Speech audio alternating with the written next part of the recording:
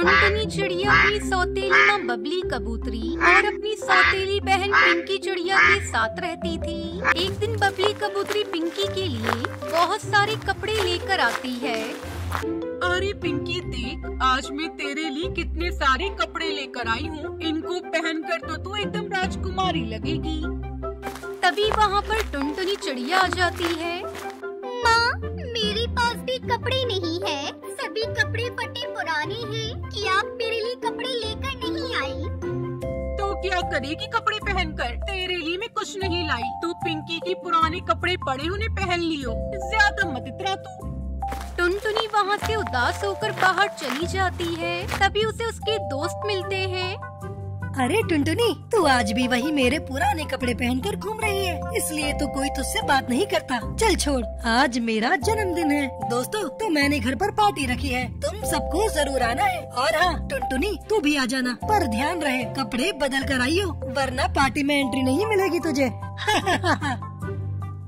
ये सब सुनकर टुनटुनी उदास मन से अपने घर की तरफ़ जा रही होती है। तभी वो देखती है कि एक जादूगर कौआ उसी रास्ते से गुजर रहा होता है। उस जादूगर के हाथ में एक पिंजरा था, जिसमें सुंदर सी चिड़िया कैद होती है और वो चिड़िया पिंजरे में बहुत उदास बैठी होती है। अरे, ये चिड़िया कितनी उदास लग रही है। ज़रूर इस जादूगर ने इसे कैद में रखा है, इसलिए उदास है। मुझे इसकी मदद करनी चाहिए।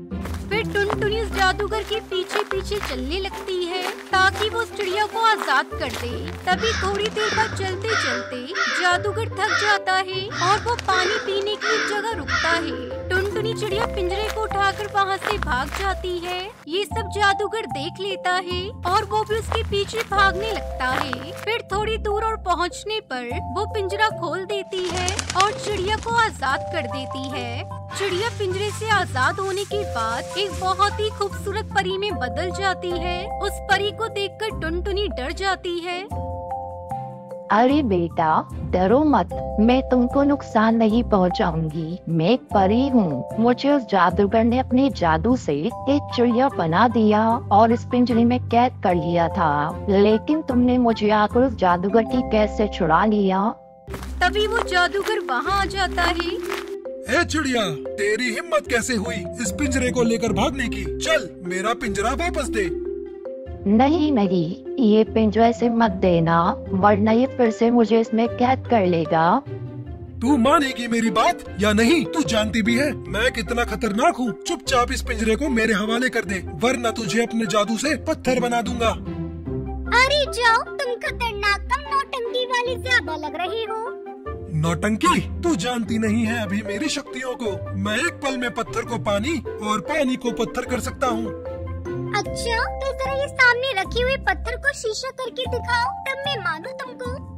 फिर जादूगर अपनी जादू की छड़ी घुमाता है और सामने रखे पत्थर को वो एक पल में शीशा बना देता है। देखा चिड़िया और कोई सबूत चाहिए तुझे? चल अब फटाफट मेरा पिंजरा मुझे वापस कर। नहीं अभी नहीं। ऐसा जादू तो छोटा मोटा जादूगर कर लेता है। मैं तो तुमको तभी मानूँगी जब तुम शीशे को तोता बना दोगे। जादूगर अपने सामने रखे शीशे की तरफ़ छड़ी घुमाता है और उस शीशे पर जादूगर का ही चेहरा आ रहा था और छड़ी घुमाते ही वो जादू शीशे से रिफ्लेक्ट होकर जादूगर पे पड़ जाता है, जिससे वो जादूगर खुद तोता बन जाता है। तभी टुनटुनी भागती हुई जाती है और जादूगर को उसी के पिंजरे में पकड़कर बंद कर देती है और वो पिंजरा उस परी को सौंप देती है। अरे वाह, तुमने तो बहुत चतुराई और आसानी से इस जादूगर को हरा दिया। अब ये जादूगर किसी को भी परेशान नहीं करेगा। और तुमने जो आज मुझ पर इतना बड़ा उपकार किया है, मैं इसको कभी नहीं भूलूँगी। इसलिए तो मुझे अपनी कोई भी ख्वाहिश बताओ, मैं वो पूरी कर दूँगी। मेरे पास कोई अच्छे कपड़े नहीं है, इसलिए मेरा कोई दोस्त भी नहीं है। आप मुझे क्या अच्छे कपड़े दे सकती हो? तभी वो परी चुटकी बजाती है और एक सुंदर सा गाउन सामने आ जाता है। ये लो। ये अब से तुम्हारा है और ये कोई मामूली गाउन नहीं। ये जादुई गाउन है। अगर तुम इसे पहनोगी तो सभी पक्षी तुम्हारी तरफ़ ही आकर्षित होंगी। ये गाउन हमेशा साफ़ ही रहेगा। ये कभी गंदा नहीं होगा। बस तुमको मंत्र बोलना पड़ेगा। ये हमेशा तुम्हारी मदद भी करता रहेगा। तुम जो भी कहोगी, ये गाउन वो सारे काम चुटकियों में कर देगा। बस तुमको एक बात का ध्यान रखना है। ये गाउन सिर्फ़ तब तक ही साफ़ और जादुई रहेगा जब तक तुम्हारा मन साफ़ होगा अगर तुम्हारे मन में छल कपट और लालच आ जाएगा तब इसकी शक्तियों से दिन चली जाएँगी। अब तुम इसे रख लो और मैं चलती हूँ। परी वो गाउन टुनटुनी को देकर वहाँ से उड़कर चली जाती है। टुनटुनी भी परी की बात मान लेती है और वो गाउन लेकर घर आ जाती है। क्या ये सच में कोई जादुई गाउन है? क्या एक बार इसे पहन कर देखती हूँ? थोड़ी देर बाद टुनटुनी वो गाउन पहनकर कमरे में आती है और शीशे के आगे खड़ी हो जाती है। अरे वाह, मैं कितनी अच्छी लग रही हूँ। इस गाउन में शुक्रिया उस जादुई परी का, जिसने मुझे गाउन दिया। अरे, आज तो गोलू का जन्मदिन भी है। चलो इस गाउन को मैं उसके घर पहनकर चली जाती हूँ। फिर टुनटुनी वो गाउन पहनकर गोलू के जन्मदिन में जाती है। तभी वहाँ पर खड़े सभी पक्षी टुनटुनी को देखकर चौंक जाते हैं। उनकी नज़रें टुनटुनी से हटती ही नहीं। इस तरह टुनटुनी अपनी ज़िंदगी आराम और सुकून से बिताने लगी।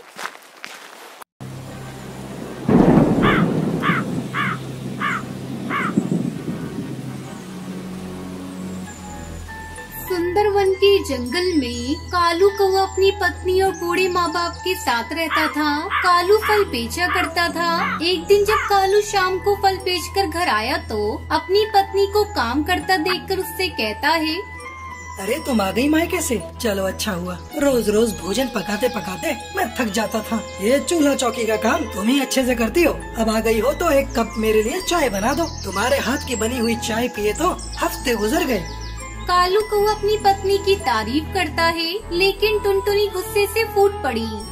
तब तक आप लोग कमेंट में बताएँ 190 नाइन्टी इंटू एट कितने होते हैं? रहने दो, बंद करो मेरी तारीफ़ करना। मैं तो नौकरानी हूँ इस घर की। दिन भर बस घर का काम करती रहूँ, और एक तुम्हारे बूढ़े माँ बाप है।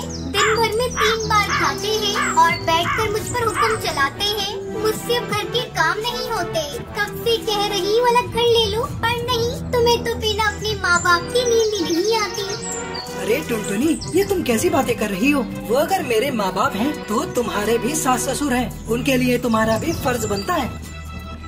मैं कह देती हूँ या तो तुम मुझे नया घर लेकर दो वरना मैं अपने मायके चली जाऊँगी। मेरे भैया की दो दो कोठियाँ खाली पड़ी है बस मेरे कहने की देर है। टुनटुनी बड़बड़ाती हुई अपने काम में लग गई। तभी बाहर डाल पर बैठे कालू के माता पिता चिल्लाते हैं। अरे ओ बहू लगता है आज बारिश होगी। ना जाने कहाँ से काले काले बादल आ गए। बाहर रखा सामान हटा दे। जाओ जाकर देखो तुम्हारे माँ बाप का बुलावा आया है। कालू को अपने माँ बाप के पास जाता है तभी तेज बारिश शुरू हो जाती है। अरे बाप रे इतनी तेज बारिश। इस मौसम में तो कभी इतनी तेज बारिश नहीं होती। धीरे धीरे रात हो जाती है लेकिन बारिश नहीं रुकती। इसी तरह सभी भोजन करके सो जाते हैं। अचानक उनके घर का एक हिस्सा जिसमें माता पिता सो रहे थे वो गिर जाता है और कालू के बूढ़े माँ बाप उसमें दब जाते हैं। बचाओ बचाओ कालू बेटा हमें बचाओ। ये क्या हो गया पिताजी? आप चिंता न करें मैं अभी आपको बचाता हूँ। माँ जी माँ जी आप ठीक तो है ना? लेकिन कालू की माँ कोई जवाब नहीं देती। बेटा तेरी माँ को क्या हुआ? वो कुछ बोल क्यों नहीं रही है? मुझे छोड़ पहले अपनी माँ को बाहर निकाल। किसी तरह टुनटुनी और कालू मिलकर अपनी पूरी माँ को मलबे से बाहर निकालते हैं लेकिन उसकी माँ मर चुकी थी। माँ ये क्या हो गया? माँ आप हमें छोड़कर क्यों चली गई? सुनिए जी अभी रोने का वक्त नहीं है। जल्दी बाबूजी को बाहर निकालते हैं। ऐसा न हो कि बाबूजी अपने मुँह से अशुभ बातें मत निकालो। मेरे बापूजी को कुछ नहीं होगा। कालू को अपने पिता को भी मलबे से बाहर निकालता है लेकिन वो दम तोड़ चुके थे। मैं तो बर्बाद हो गया। पिताजी भी नहीं रहे। टुनटुनी कालू कौए की हिम्मत बनाती है। अब रोने से कोई फ़ायदा नहीं जी। घर में पानी भर चुका है। जल्दी यहाँ से चलो। मैं मैं नहीं जाऊँगा। मेरे माँ बाप मर गए। अच्छा हुआ तो मैं भी मर जाता हूँ। तुम्हें जाना है तो जाओ। पर मैं अपने माँ पिताजी को छोड़कर कहीं नहीं जाऊँगा। मैं उनके साथ ही रहूँगा।